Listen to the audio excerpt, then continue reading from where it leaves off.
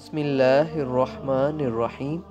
رسول اللہ صلی اللہ علیہ وآلہ وسلم نے فرمایا، جس نے پہاڑ سے اپنے آپ کو گرا کر خودکشی کر لی، وہ جہنم کی آگ میں ہوگا اور اس میں ہمیشہ پڑا رہے گا۔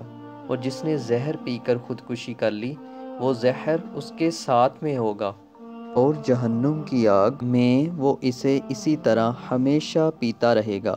اور جس نے لوہے کے کسی اوزار سے خودکشی کر لی، تو اس کا اوزار اس کے ساتھ میں ہوگا۔ اور جہنم کی آگ میں ہمیشہ کے لیے وہ اسے اپنے پیٹ میں مارتا رہے گا۔ صحیح بخاری شریف، حدیث نمبر پانچ ہزار سات سو اٹھتر۔ مشکلات کتنی بھی آ جائیں، کبھی بھی خودکشی کی طرف نہ جائیں۔ اپنے سارے معاملات کو اللہ پہ چھوڑ دیں۔ اور اپنے دلوں کو اللہ پاک کے ذکر سے سکون پہنچائیں اور کثرت سے ہمارے پیارے نبی حضرت محمد صلی اللہ علیہ وآلہ وسلم پر درود پاک پڑھیں۔ جزاک اللہ۔ لا تحزن إن الله معنا۔ لا تحزن إن الله